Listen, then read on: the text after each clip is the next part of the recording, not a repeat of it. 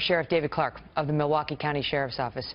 Great to see you, Sheriff. So you know that this is this is the message that it's um, we need to we need to get guns out of the hands of folks like this. But this guy had no record. You know, he was a he was a vet. He was an Army vet, um, and I don't know. The rhetoric's bad, but I don't know that it caused this guy's behavior.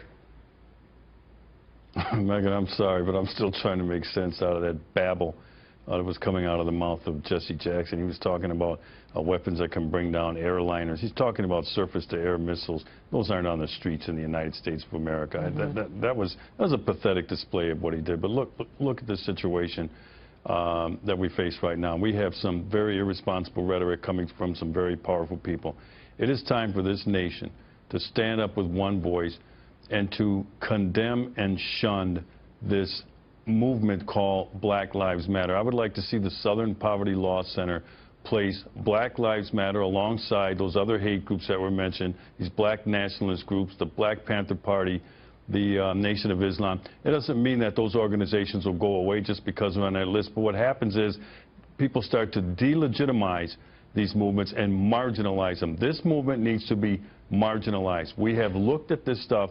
We have peeled back the layers. We've looked at the data. We've looked at the research. None of their false narrative about the uh, uh, use of force, about the American police officer can be proved. None but, of it. But why, Zero. how would that and have, so it is, it is how time. would that have helped but this? Megyn, you know, because this guy wasn't part the, of Black Lives time, Matter.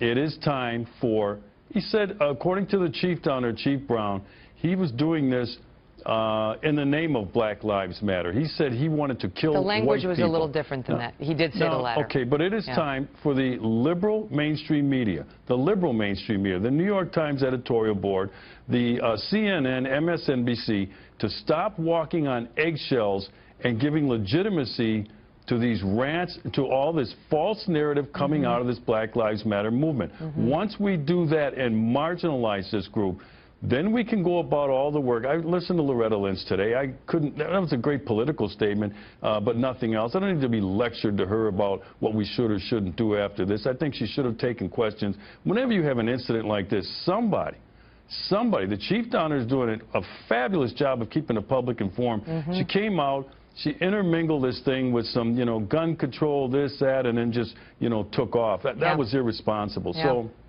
once, and, you know, the rhetoric I don't think is going to go away, but we need to delegitimize this Black Lives Matter movement. We've had enough of their nonsense.